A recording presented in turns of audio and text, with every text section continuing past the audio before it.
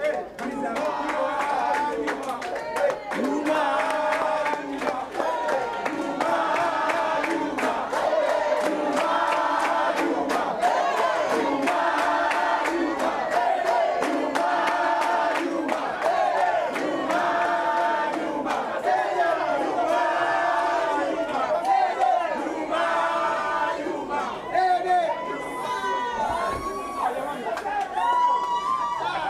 maswali machache kwa Juma.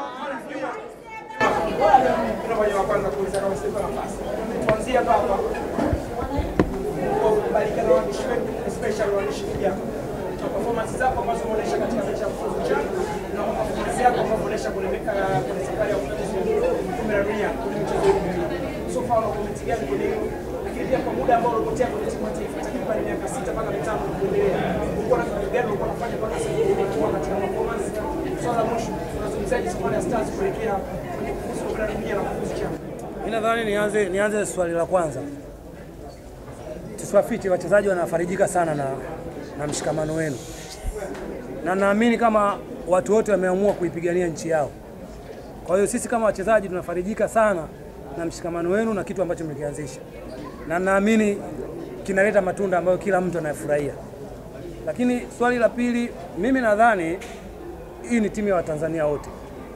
Yawezekana walimu ambao walikuwa wako kwenye kipindi hicho nilikuwa si chaguo lao, lakini si kwa sababu sio bora. Inawezekana nikawa ni bora, lakini si chaguo lake.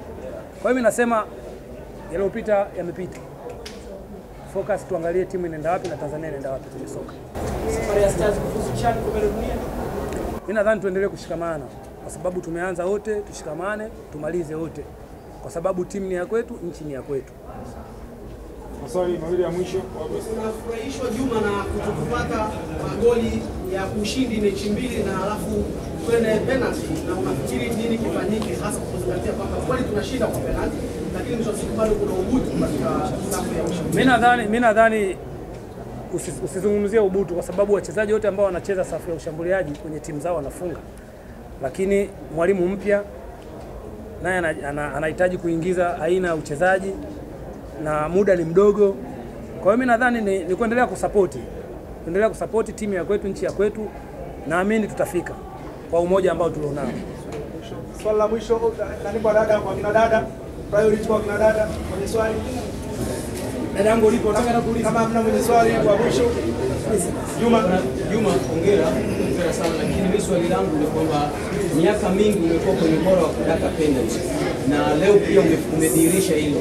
Watanzania wanahitaji kufahamu siri yako ya kudaka penalty ni nini na inasababishwa na nini kikubwa zaidi, kwa sababu si mara ya kwanza kufanya haya yote. Mimi unaenda mwaka wa 19 nacheza ligi kuu, lakini kwenye maisha yangu hakujawahi kuwa na mwalimu akuja kunifundisha kudaka penalty. Kwa hiyo mimi nadhani ni kipaji tu kanipa Mungu, na Mungu anambariki yoyote ambaye anamtaka. Mimi naamini nimebarikiwa.